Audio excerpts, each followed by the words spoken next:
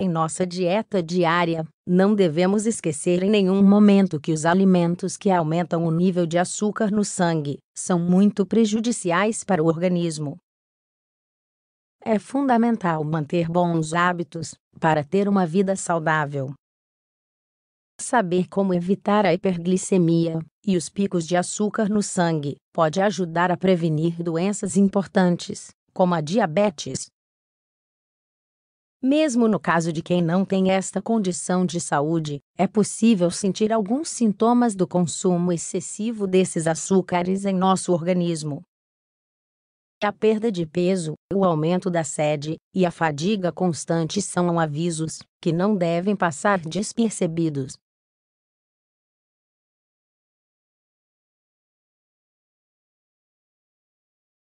Alguns pacientes apresentam visão turva, pele inchada e sonolência. No caso de pacientes com diabetes tipo I, em segundo, a respiração e o ritmo cardíaco ficam mais difíceis, de qualquer forma, o importante é evitar esse estado, e existem métodos para fazer isso. Dicas para evitar os picos de açúcar no sangue: beba muito líquido. Evitar a desidratação é um dos nossos objetivos diante da hiperglicemia. Beber muita água é uma medida preventiva e faz parte do tratamento de recuperação.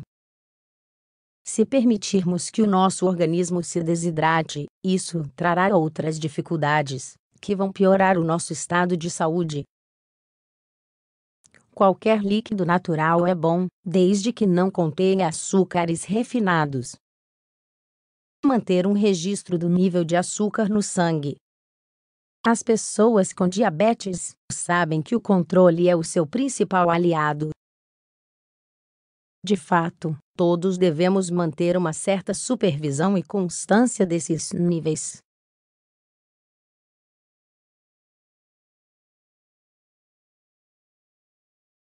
O mais importante é medir a glicose antes das refeições.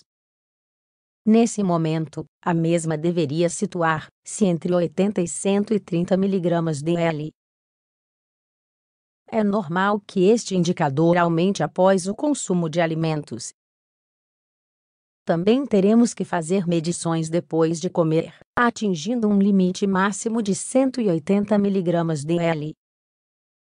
Atualmente, existem dispositivos especiais que nos permitem saber em segundos como está a nossa glicose. No entanto, mesmo que você não tenha um glicosímetro, existe outro mecanismo para ter manter controle atualizado. O teste da hemoglobina é um C o início do controle da glicose. Para aqueles que nunca controlaram seus níveis de açúcar no sangue, existe o teste de hemoglobina A1C. Este é um exame de sangue que permite calcular o estado da nossa glicose durante os últimos três meses. É um excelente ponto de partida para controlar esse indicador corporal.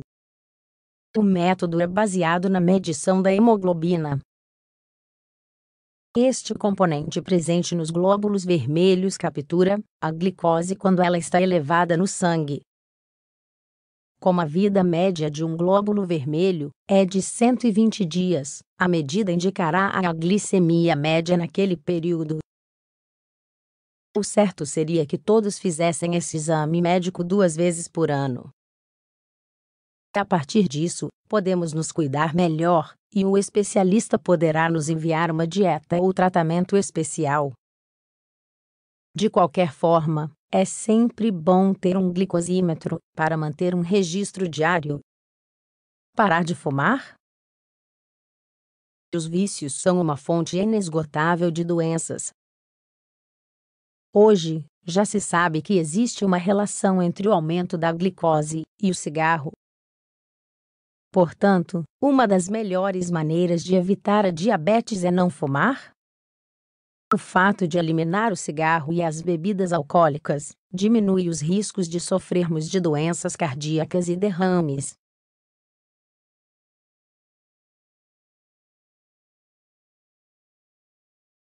Isso também nos leva a continuar verificando outros indicadores, como o colesterol, e a pressão arterial. Controlar o consumo de carboidratos. Os carboidratos simples são os principais causadores dos picos de açúcar no sangue. Lembre-se de que, quando processados pelo sistema digestivo, eles são absorvidos rapidamente, provocando picos de glicose. Isso confirma a importância de uma nutrição equilibrada para o corpo humano. Segundo as teorias sobre os carboidratos, substituir esses açúcares por carboidratos complexos nos permite manter bons níveis de glicose e melhorar a saúde digestiva. Existem alimentos semelhantes e mais saudáveis, como por exemplo, as frutas, as verduras e as leguminosas. Finalmente, e como conclusão, é importante fazer exercícios regularmente. A atividade física permite regular a glicose e impedir sua transformação em lipídios acumulados. É possível começar fazendo uma caminhada,